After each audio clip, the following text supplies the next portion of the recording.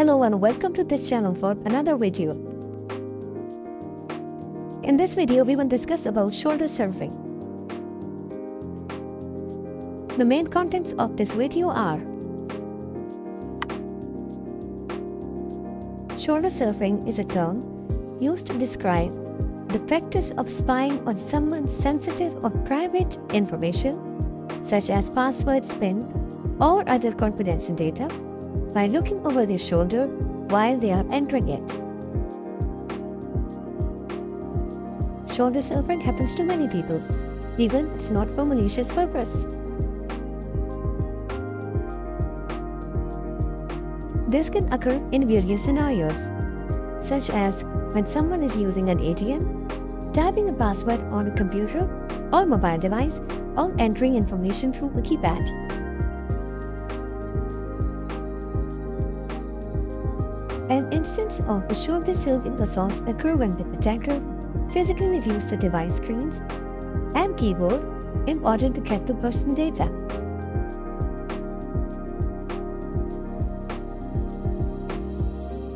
Such prying eyes look for any valuable personal data such as your credit card numbers, PIN, or passwords.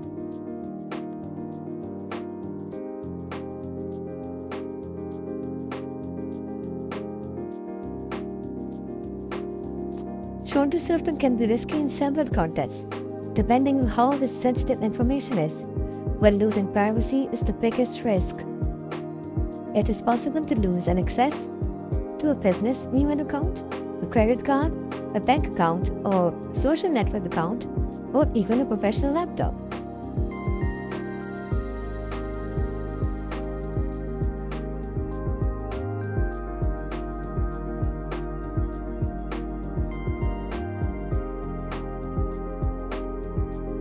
Here are some precautions that you may take to avoid shoulder surfing and protect yourself from its risk.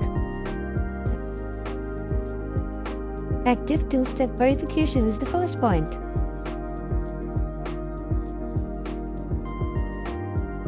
When feasible, use two-factor authentication such as Microsoft or Google Authentication Tool, a mobile device proof, or one-time password. Number second point, avoid using Wi-Fi in public areas. It is advised against using unsecure public Wi-Fi networks to access personal accounts of websites, or banks, social media, and shopping.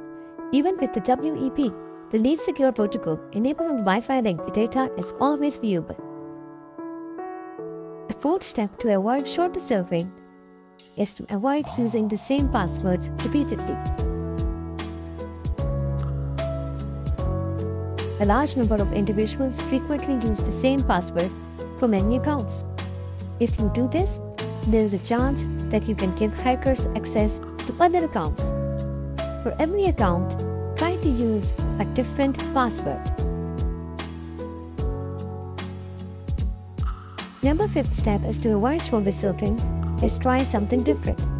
That is, try to use other technologies than passwords. Biometric logins, such as fingerprint, and facial recognition system can be used to gain access to computers, phones, and other applications on any device that has them.